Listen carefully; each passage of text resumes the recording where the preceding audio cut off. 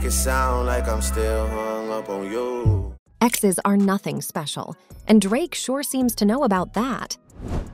Once proclaiming his undying love for Rihanna from their first meeting, Drake now seems to hold her as less than a favorite.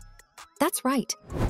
The 36 year old musician appears to criticize Rihanna and her husband ASAP Rocky in the track Fear of Heights off his recently released album For All the Dogs on October 6th. I think that's what makes the records better though, because there's something genuine there. We're not like forcing some story on people. So, exactly what is he dissing her for then? Let's find out. Drake seems to be referring to Rihanna in the background of the fourth track on his most recent album, For All the Dogs, which was released on October 6th, and it's safe to say he has a lot to vent out. It's tough. It's, I'll be honest with you, it's tough to watch. The song initially starts with the lines, Why they make it sound like I'm still hung up on you. That could never be, leaving little room for doubt about his intended target.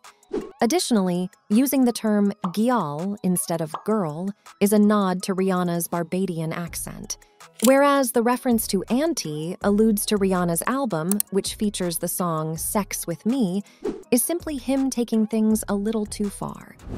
Drake then proceeds to discuss how the quality of their intimate encounters was below standard and says that he has had better experiences than those described. Ouch. He mentions the fact that Rihanna and her current boyfriend had traveled to Antigua, which is a Caribbean island located near her home country of Barbados, and how he seems to find that extra irrelevant.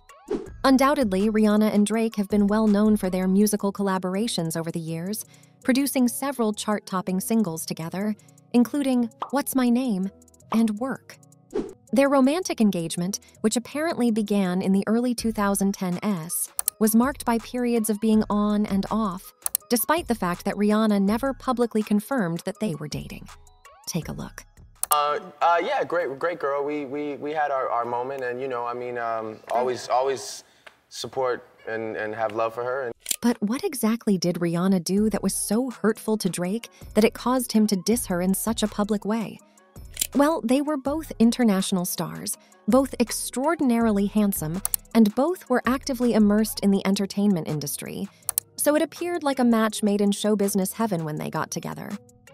Still, in spite of the initial euphoria, their relationship went through some difficult times along the way, and of course, didn't live to see the light of day. Secondly, shortly after Rihanna's traumatic breakup with singer Chris Brown, who had abused her in 2009, the couple embarked on their romantic adventure together. During the month of May, Rihanna and Drake were even spotted getting intimate at a bowling alley in New York City. According to the accounts of many who saw them, they appeared to be a sweet couple who enjoyed one another's company while drinking whiskey and apple juice. Who will ever forget when he actually brought Rihanna on stage and they grinded on each other during one of his Paris concerts, and it was pretty hot. Of course, this was just the beginning of their relationship, which consisted of on again, off again periods. Rihanna went so far as to ask Drake to compose a song for her, but the finished product was never made public.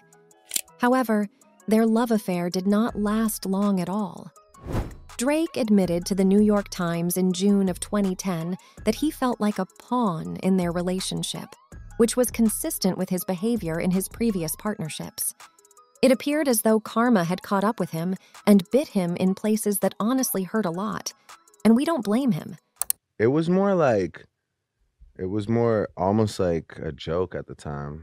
Not to mention, during an interview that she gave in November 2010 to the radio personality Angie Martinez, Rihanna provided her take on the couple's relationship as well.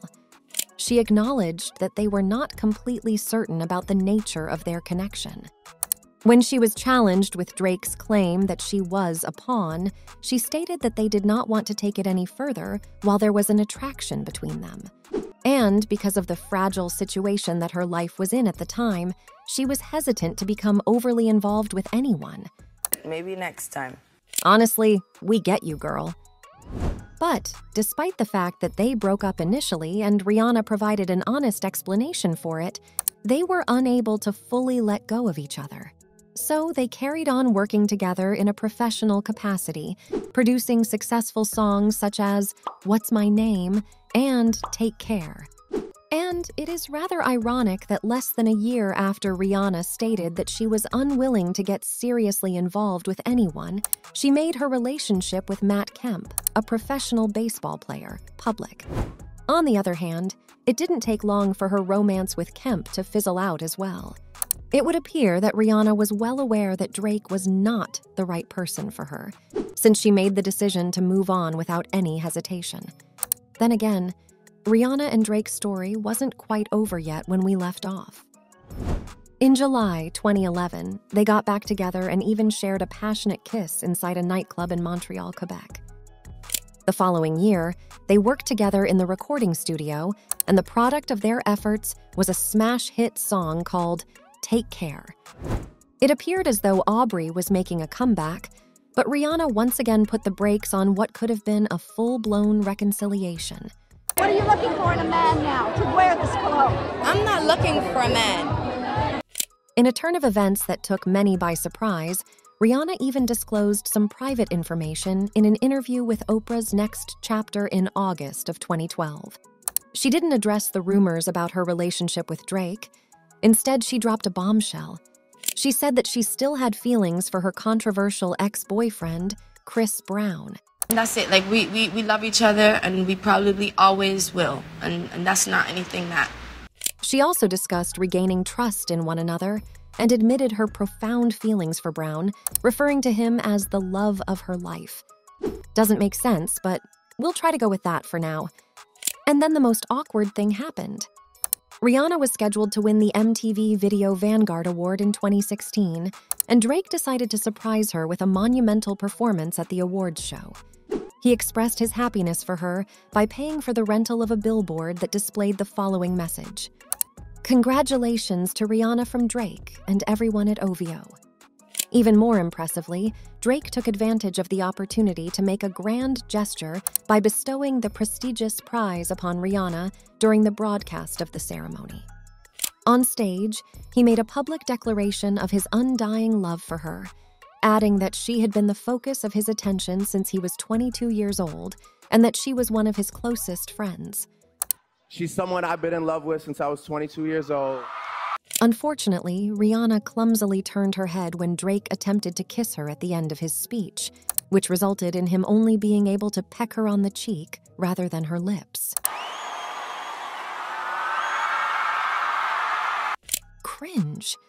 And even though she seemed to appreciate the effort, Rihanna acknowledged in a cover article for the June 2018 issue of Vogue that wading through Drake's speech had been the most awkward part for her.